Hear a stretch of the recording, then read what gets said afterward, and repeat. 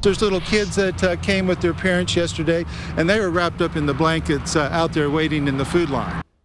As temperatures continue to drop, the Salvation Army is providing emergency disaster services to one community in Catoosa. We told you last night people living in the Pine Creek Estates trailer park have no way to heat their homes right now as they haven't had gas since a fire back on Christmas Eve. Fox 23's Alex Cash visited that community again today to learn how the Salvation Army is helping out.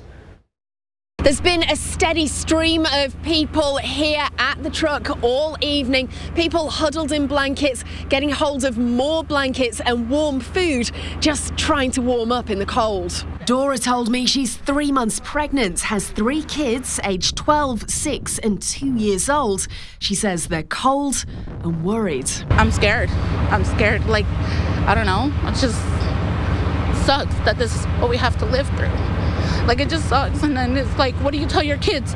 Like we're trying to live, and it's like, what do you tell your kids? She lives in one of the 57 homes in this trailer park, Pine Creek Estates in Catoosa, that have been without gas since Christmas Eve. My daughter has like four or five comforters, not blankets there, like big blankets on her.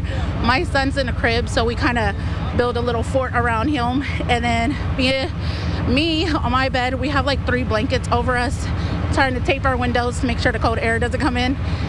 We've been doing okay, but this cold air that's coming in, like right now, um, it's struggling. It's struggling to stay warm. A fire and gas leak caused the line to the homes to be shut off. One person living at the park told me off camera an elderly woman has been taken to the hospital from the trailer park with pneumonia because of the cold. Wade Normandin from the Salvation Army told me their volunteers are giving out their emergency disaster services to the community. To serve a hot meal to the, the residents that live here, uh, they're having a real tough time. The Salvation Army have given out space heaters and have this truck on site in the evenings.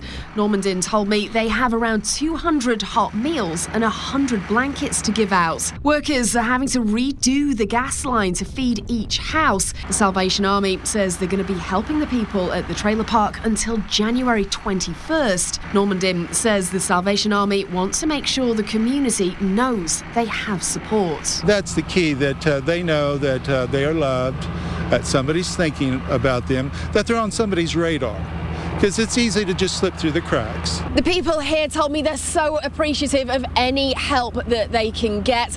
The Salvation Army say that they're going to be out here every night through the cold weather through to the 21st of January. Covering news that matters, I'm Alex Cash, Fox 23 News.